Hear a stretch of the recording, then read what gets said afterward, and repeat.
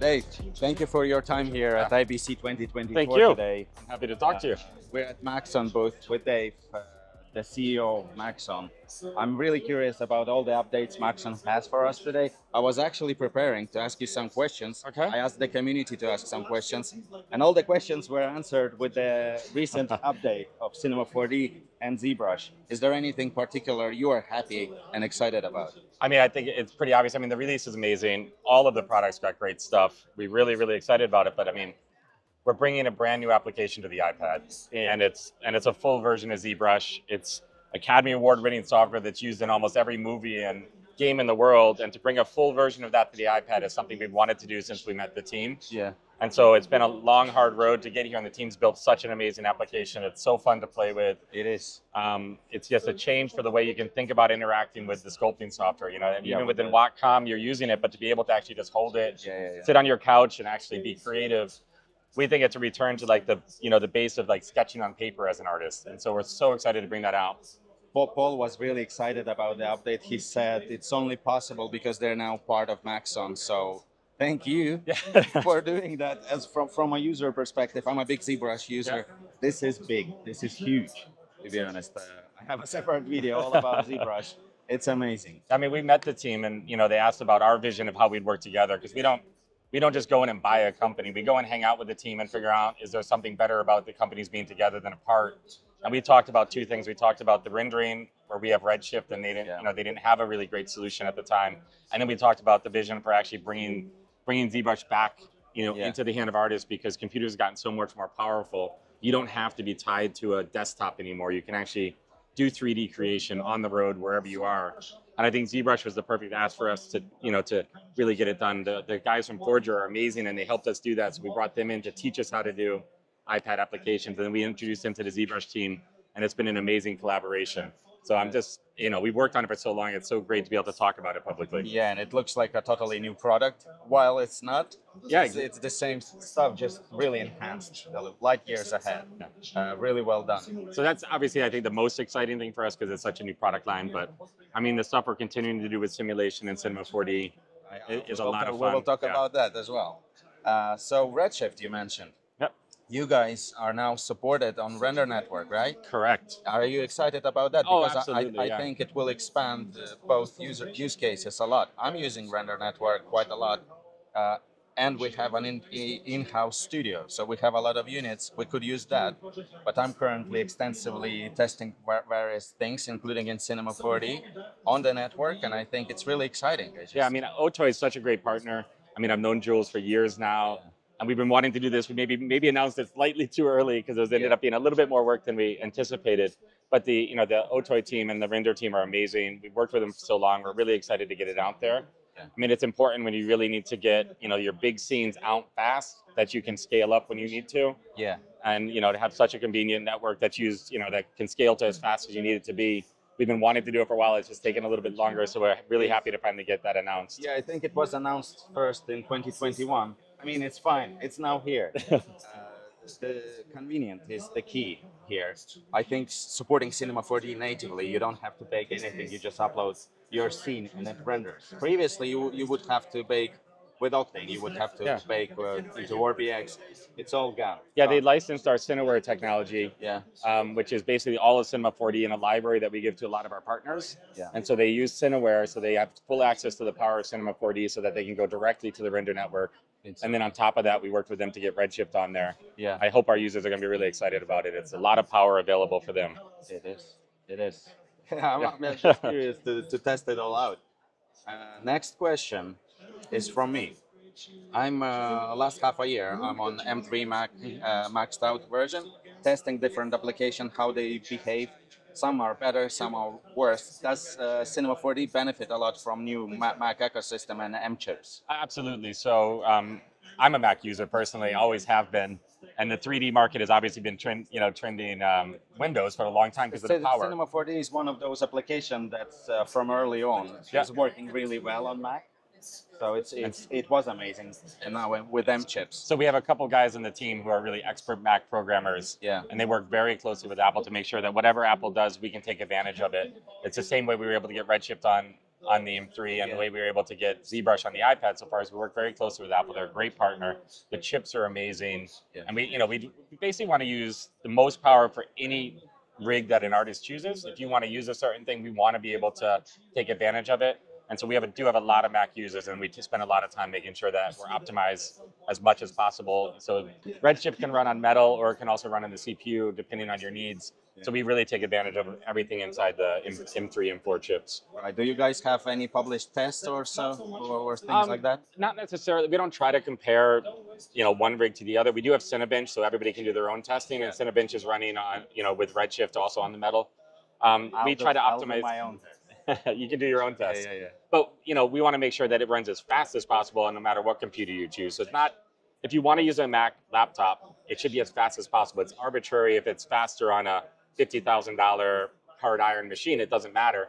It should be faster where you're running. The, the funny fact is that was from my tests, uh, even heavy lifting machine applications run faster on my M3 MacBook than on my primary station that has 32 cores and 256 gigs of RAM. yeah the integrated memory does make it really It does, fast yeah, and it yeah. solves a lot of the problems that you get on the other machines but we partner with all of the hardware vendors they work with us on cinebench so that they can make sure that the, the 3d challenges we throw at the chips from cinema and redshift are optimized on the machines we benefit from the fact that we have cinebench Yeah. so that our partners really help us make it fast on all their machines Yeah. Speed and convenience. Uh, Cinema 4D is notorious for being the, the most convenient software in the world. Uh, and we want it to run on every single machine to the best of its yeah, ability With the flattest learning curve, Cinema 4D. Yeah. Uh, I'm still promoting. If people ask me how do I start 3D, I say start with uh, Cinema because it's the easiest way to get into 3D. and it's got to be fun and i think cinema 4d is fun Yeah, like you, you- really want to have fun when you start You guys improving UI all the time or the new tools? I was particularly interested in. Uh, remember Neutron? yeah So, so all the all the things that happening right now with nodes, with simulation, uh, is that part of the Neutron into into? I mean, you know, I think the original code name for Neutron was actually just the nodes. yeah, Um, but there was a lot of, um, you know, we were, Cinema was out, Maxon was out talking about what was coming next, and I don't know that they were actually really clear. They were talking about the new core, yeah. um, but we rolled the new core out like five or six years ago. Okay. But we didn't make a big deal out of it because a, an artist isn't going to really necessarily know what that means. And so Yeah. what it is is just basically they refreshed a lot of the underpinning so that we can do all the things in Cinema 4D faster. That's really what's under there. That's- The nodes use that, but so does simulation. So does um, all the tools. And, and basically in each release, you'll see that areas of the application are 20, 30, 40% faster. Yeah. That's from the work they did on the new core. So Neutron's already done and it's in the application. Um, we just talk about it through the features that show up or the speed that shows up as opposed to Neutron, the code name. So I it's see. all in there It's in there. and it's all done. Uh, really impressive uh, updates on simulation stuff. You guys are heavy on particles now. Uh, I spoke to Andy. Yeah. The Andy Needham. He's excited. He he's a heavy X-Particles user as well as particles for Cinema 4D. He, ha- he has uh, master classes done specifically about particles in cinema. Are there any plans on integrating uh, other systems like Flip simulations, uh, muscle systems, uh, communities? Yeah, I, I saw the questions. Yeah. Yeah. Um, wouldn't wouldn't say for sure that muscle's the next one, Yeah. yeah. um, but we're obviously investing very heavily. Um, in the next month or two, you're going to see even more in particles. We have some amazing stuff coming for new particle simulation in the next couple months. Okay. But very shortly thereafter, you're going to see some um, other requested simulation systems that we haven't talked about yet. Um, what we what the team built was, you know, a GPU independent accelerated simulation frameworks. So it runs on Metal, AMD, um, NVIDIA, Right. but you can then build out simulations on top of it. That's why we call it Unified Simulation Engine. That's why So they all work together. GPU powered. It's all GPU powered. That's what makes it so fast. Yeah. Um, and they all work together, so they're built on the same systems. That's why when we rolled it out, you start seeing them actually work really well together. You have you can have pyro burning cloth, and you can have Yeah. rigid bodies colliding with soft bodies. It's impressive, I must uh, admit. Yeah, and so you know, you might want to be able to talk about beer simulation to predict what we might be doing next. You know, we're a German company, and beer is important to us. Um, so if you were talking about what we were going to simulate next, you might think in the realm of beer as opposed to muscles. I see. I see. Here's your hint. yeah, Um, well, I have questions about ZBrush being more tightly integrated in the Cinema 4D. I think we have our answer from the talk with, with, with Paul. Yeah, I mean, what, what does a user want, right? Do they want to have ZBrush entirely in Cinema 4D, or they want to use the application they love? I think that's what the question implied, but I would much more prefer it as a standalone, like it like it is Yep. right now, to be honest. And then uh, another popular question, like I tried to merge, condensed questions into one. AI, obviously. Are you guys planning into integrating AI into specific tools or Cinema 4D in general? Good example was uh, popular uh, I ran 4D by Mark, Mark Yep. Wilson. The idea that he had Yeah. that you use it as a generator or render engine. I mean, the joke I always make is we prefer our artists to have actual intelligence instead of art, artificial intelligence. You know, we, we joke about this stuff, and we, but when you really sit down to think of it, you know, there's this all this generative AI stuff, and a lot of it is meant for low end replacement Yeah. of agency, and and you know, we just don't subscribe to that. However, that's not to say that machine learning and generative AI doesn't have a lot of really powerful stuff that we can use our artists, give our artists to do stuff things. So, so what we've actually been using, you know, machine learning technologies or artificial intelligence stuff for years, right? The denoising capabilities in Redshift are that. Um, you know, for some of the rotoscoping stuff we do in Red Giant, we're using machine learning stuff. Um, so we're, we're doing all sorts of stuff like this, and we just surface it again where it makes an artist's lives better, where it makes things go faster, Yeah. as opposed to just saying, oh, we're going to do AI. So we, we're not out there just saying we're going to do AI. Some of the stuff you'll see in the next time is, you know, like we have 5,000 assets in the asset browser, and it's not really easy to search that. Yeah. But you can use image recognition and text-based search to improve those kind of things. Yeah. So we look at it in the idea of what is AI that can really make an artist's workflow better, make it faster, make them more successful, because we don't want to make the machine successful, we want to make the artist successful. Yeah. So we're really about the With artist work, and so we never want to talk about some of this. You know, some companies out there are preaching that you can replace an artist, and we just don't believe that's possible. Creativity is a human trait, not a machine trait, Yeah. and so we're going to use this technology to, to just make artists' lives better. So you'll see stuff, Yeah. but um, we're more focused on what does the artist need, and we talk to them as opposed to just trying to preach that a machine's going to replace them. That's clear. Yeah. Yeah. Uh, with all the demos that we've seen of the update, it's still Cinema 4D is just fast turn turnaround AAA motion graphics, the MoGraph uh, development tool. Yep. So with that said, in the next 10 years, do you think your market will change a lot or will it be primarily motion graphic uh, artists? So while I think if you look at our majority user base, it is motion graphics Yeah. for sure. Um, but by no means is that our user base. Um, we're used in all sorts of stuff. We're used in jewelry design and clothing design. Broadcasting. Yeah, we're used in broad, absolute broadcasting, sports graphics. We're used in VFX. We're used in games. Every Marvel movie has probably used Cinema 4D somewhere in it. So what we're seeing is in the industry around us, everybody's integrating 3D into their workflow. And since we're the easiest tool to do 3D with, they're integrating Cinema 4D into their workflow Yeah. because it's not limited to motion graphics. So we're seeing lots and lots of architects um, really expand their workflow to use Yeah. um, Cinema 4D in architectural visual design. Um, like I said, jewelry design, clothing design. We partner really well with Clo, and we're doing amazing work with them together on clothing simulation, clothing design. Integrated into yeah, we, we they have a great workflow between Marvelous Designer and Cinema 4D, and Clo is on the that I'm side. familiar with. Yeah, so we were I going thought you were clothing- talking yeah. about integrating them. No, so they're a great partner, and you'll see some stuff with them in the future. Yeah. Um, so wh- wherever artists want to use 3D, we're a company for 3D, not just for motion graphics. Yeah. And so wherever 3D is going to show up as an artistic tool, we're going to be there. Yeah. Dave, uh, the last question is uh, probably the trickiest one. Um, so, in the economically change, challenging world, you guys recently changed the pricing pol- policy. I have to admit, the audience is frustrated because they don't understand what it means and what Maxon One now offers. It's just, uh, I think it's important to make it clear that users are benefiting rather than losing. Yeah, so what we've done with each of the products that have joined the Maxon family is we actually wanted to make them as most affordable. So if you go all the way back to Cinema 4D, Yeah, it used to cost $4,000 to get started. I remember. and it's now you know seventy dollars a month or whatever, depending on your currency. So we actually really want to give the entire power of Maxon One to the users at a very affordable price. So everything's included. Everything Maxon has to offer is included in Maxon One.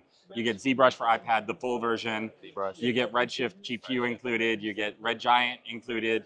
You get um, all of Cinema 4D, of course, included. You get Forger. Um, everything's there. We release capsules every single month. So, you know, we have in the last year released, I think, a thousand uh, brilliant plants and Yeah. trees, you know, with redshift materials included with them. We have hundreds of new materials coming out every month from Fuchs and Fogel. We're bringing out all the new models and, um, you know, we have substance materials in there. And we're doing that every single month. We've released 250 motion graphics templates inside of um, So Studio it's, with it's, our it's a lot included in one Yeah. single monthly subscription payment because initially people were like, "What? Why am I not supposed to do?"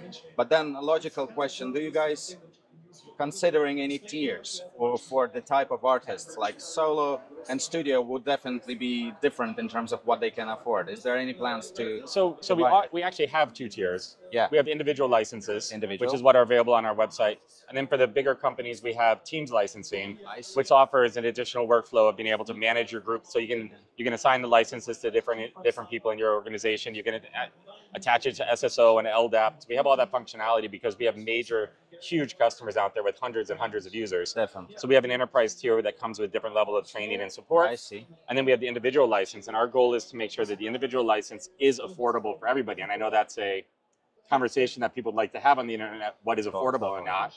Um, and I think where we can still do some work that we're looking at at the next year is if you look at certain areas of the world, um, you know, salaries or currency impact Yeah, has a different impact, and it's a challenging problem for a small company. So in the next year, we are looking at trying to figure out how to look at currencies and different prices in different regions to try to make it more affordable if you're in a lower cost area That's big. where it seems expensive or not. So we're constantly trying to do this stuff. It's just not an easy problem to solve Oh, yeah, totally. because you know obviously there are also people out there like to take advantage of different pricing options. So how, how do we get that right is something we're looking at. Yeah.